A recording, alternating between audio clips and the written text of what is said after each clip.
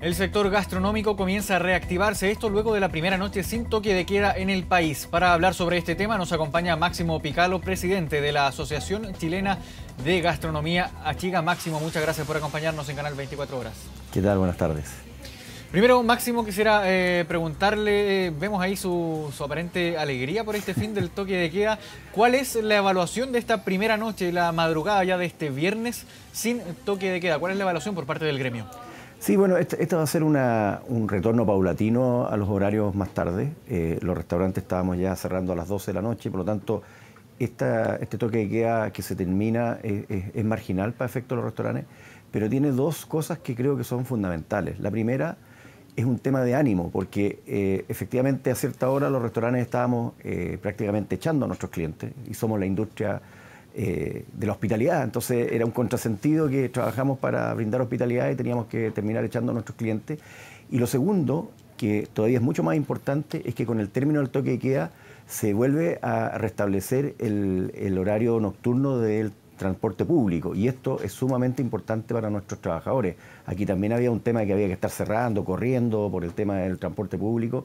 Y esto por supuesto que eh, nos va a dar más calma para poder trabajar mejor, se van a ir eh, reincorporando seguramente nuevos puestos de trabajo, así es que es una medida que nosotros esperábamos hace mucho tiempo, sentíamos que no tenía efecto sanitario y por lo tanto estamos contentos que esto haya ocurrido. Y en esta primera noche siento que queda, ¿cómo les fue en definitiva? ¿Cómo les fue con la cantidad de clientes que llegaron? Eh, con, eh, el, ánimo en general, que usted lo mencionaba también como un factor muy importante. Bueno, eh, lo, más importante es el ánimo. Yo diría que, todavía no, tenemos un, aumento de ventas relevante porque el primer día, pero claramente a medida que vayan pasando los días las personas se van a ir programando, sin perjuicio de que también hay que decirlo, en, en todo este tiempo hubo un cambio cultural eh, que hizo que las personas salieran a salir, salieran a cenar más temprano. Eso eh, nunca se había visto que alguien saliera a cenar a las 7 de la tarde y esto creo que es algo positivo que va a quedar, que a lo mejor va a permitir incluso que en algunos restaurantes se puedan eh, a lo mejor rotar dos veces las mesas, algo que también es positivo, que no todos tengan que salir a la misma hora.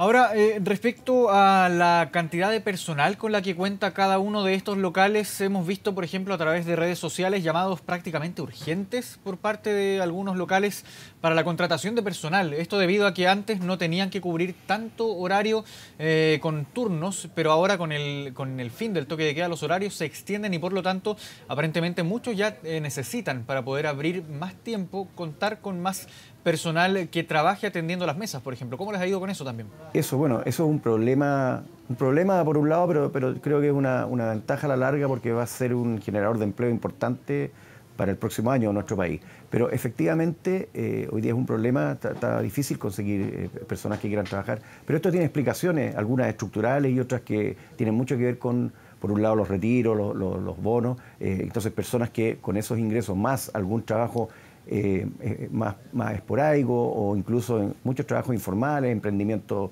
por cuenta propia, eh, están viendo que eso, es algo que les puede funcionar. Por otro lado, en el tema del empleo de la mujer, también mientras los colegios no vuelvan de forma presencial, pero, pero con jornada completa, como, como era antes de la pandemia, también va a ser muy difícil que las mujeres se vayan reincorporando a esta fuerza laboral que en el caso del sector gastronómico y del sector turismo eh, es, sumamente importante el, aporte que hacen las mujeres en, este rubro. Y, por último, también yo diría que este mismo tema del transporte eh, nocturno, digamos, de que existan posibilidades de transporte, también era de alguna manera algo que inhibía a algunos a buscar trabajo en nuestro sector, así que esperamos que eso con el pasar de los días se vaya regularizando y vayamos eh, llenando esos cupos laborales que también son cupos que tienen contratos, que, tienen imposiciones, eh, a diferencia de muchos trabajos esporádicos que hay hoy día que no, que no tienen leyes sociales y, que no tienen protección para los trabajadores.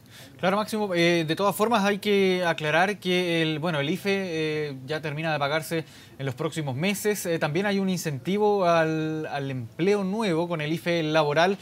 ¿Consideran esto que también podría ser eventualmente una, un buen incentivo para que las personas ya comiencen a buscar nuevamente trabajo y comiencen a, trabajar definitivamente en los locales nocturnos? Sí, bueno, hay, hay no solo para nuestro rubro, sino que en general para la economía hay dos subsidios sumamente importantes para efectos de eh, recuperar empleo. Uno es efectivamente este IFE laboral, pero también hay un incentivo a los eh, empresarios, digamos, eh, para, nuevos contratos. Hay también un subsidio laboral en ese sentido, así que yo creo que están dadas las condiciones como para que empecemos a recuperar los empleos y de alguna manera nuestra economía mostró, ¿no es cierto? Hoy día conocimos el IMASEC del mes de agosto de un 19,1%, que es un IMASEC bastante importante. Esperamos de que los meses que vienen sigamos con IMASEC alto, de manera que podamos recuperar la, economía, porque va a ser la única forma que este país va a tener, por ejemplo, de hacerse cargo de todas las demandas sociales que existen en términos de eh, mejores jubilaciones, mejor salud, mejor educación. Eso solamente se logra con una economía que es capaz de generar eh, mejores puestos de trabajo, generar recursos para que en el fondo el Estado tenga como eh, invertir luego esos recursos para satisfacer las necesidades que tienen todos los chilenos. Ahora hablemos del cumplimiento de las medidas sanitarias eh, en, este, en esta primera noche que hubo sin eh, toque de queda. ¿Cómo lo vieron ustedes eh, la, adhesión de los locales al cumplimiento de medidas, la adhesión también de los propios clientes? Porque vimos muchos, nosotros estuvimos ayer, por ejemplo, a medianoche, con despachos desde Valparaíso, desde La Serena, desde acá de Santiago también.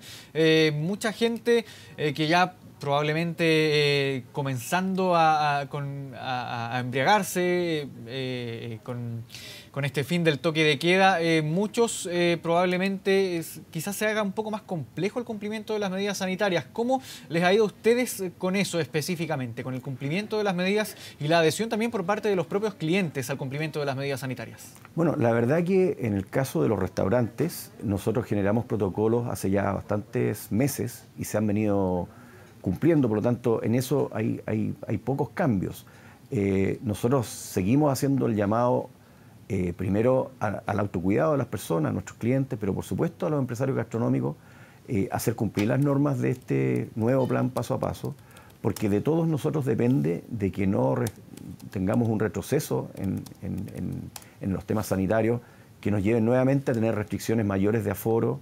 Ya sabemos que el nuevo plan paso a paso no incluye cuarentenas totales, pero sin perjuicio de eso es nuestra responsabilidad que podamos convivir con esta crisis sanitaria, porque eh, hay que decirlo también, el, coronavirus sigue estando presente en todo el mundo, no hay ningún país que, ya haya dicho que, ha ganado esta batalla, y lo que sí, eh, los países que mejor lo van a hacer van a ser aquellos que sepan convivir, en que puedan entonces compatibilizar eh, las actividades económicas, las actividades personales de, todos, ¿no es cierto?, con el autocuidado y esta crisis eh, y en eso el plan de vacunación que tiene nuestro país, que es tan exitoso, como también, ¿no es cierto?, eh, que de alguna manera todos hagamos cumplir estas normas nos van a permitir eh, poder salir bien de esta crisis. Máximo, ¿cómo esperan ustedes que comience a evolucionar el desempeño, el funcionamiento de los locales que atienden a público, principalmente en este horario que ya es el marca el fin del toque de queda? considerando que lo que vimos anoche podría llamarse como una marcha blanca. Muchos locales abrieron, no ocuparon toda la extensión horaria posible que permite la legislación para eh, la apertura de los locales eh, tuvieron un horario más bien acotado, muchos cerraron a las 2 de la madrugada, pudiendo hacerlo hasta las 4, por ejemplo. ¿Cómo esperan ustedes que vaya evolucionando esta situación, el desempeño eh, de los locales de aquí a los próximos días, las próximas semanas o este fin de semana, derechamente? Bueno, efectivamente es lo que nosotros creíamos que, podía pasar. Esto va a ser un, tema paulatino, no es que hoy día no hay toque de queda y vamos a volver automáticamente a los horarios que teníamos previos a la pandemia. Esto va a haber libertad de cada negocio. Eh, yo, he conversado con algunos empresarios gastronómicos que dicen, mira, yo ya no voy a volver a los horarios que tenía porque creo que hoy día, con este cambio cultural de que hay personas que están saliendo más temprano, eh, yo puedo a lo mejor adecuar eh, mis turnos con horarios más cortos. he escuchado incluso algunas discotecas diciendo que por favor los clientes también lleguen más temprano porque ellos también tienen unos aforos que son más reducidos, por lo tanto, en cuanto se, se, se cope ese aforo, ya no van a poder recibir más clientes. Entonces, yo pienso que aquí va a haber un, periodo de transición. Eh, es posible que alguna de estas, de estas nuevas eh, eh, culturas de, salir más temprano quede, digamos, para siempre. Así que no creo que, vayamos a tener mayores problemas. Y efectivamente también sabemos, y eso lo ha dicho la autoridad, que van a haber fiscalizaciones.